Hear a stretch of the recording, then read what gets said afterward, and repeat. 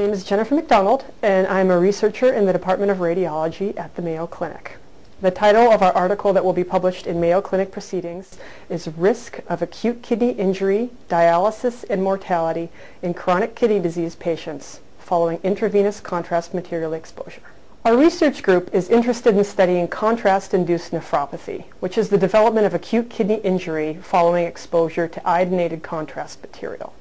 Now the link between contrast material and kidney injury is medical dogma for decades, but recent publications, including those by our group, suggest that the incidence of contrast-induced nephropathy has been overestimated by prior studies that have not included control groups of patients who did not receive contrast. So our interest is in better determining the true incidence and severity of contrast-induced nephropathy, specifically in patients with renal insufficiency or those with an EGFR of less than 60. In the current study, we compared patients who received a contrast-enhanced CT at our institution to patients who received an unenhanced CT. We used propensity score analysis to better match patients who received contrast to patients who did not with similar clinical characteristics.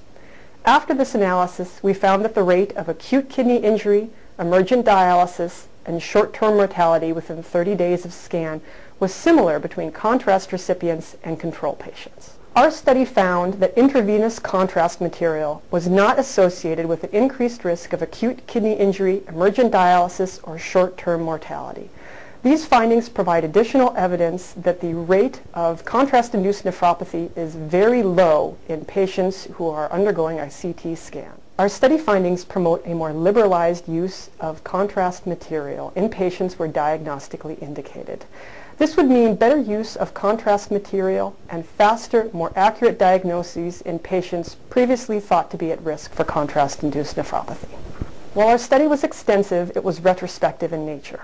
Prospective studies are needed to better evaluate the true incidence and severity of contrast-induced nephropathy.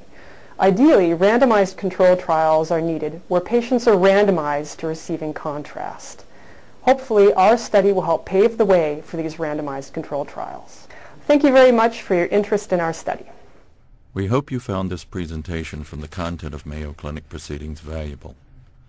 Our journal's mission is to promote the best interests of patients by advancing the knowledge and professionalism of the physician community.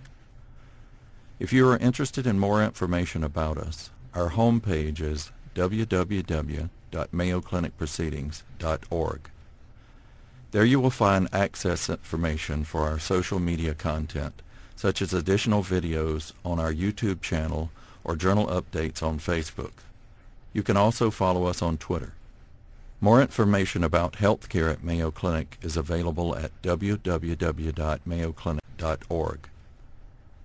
This video content is copyrighted by Mayo Foundation for Medical Education and Research.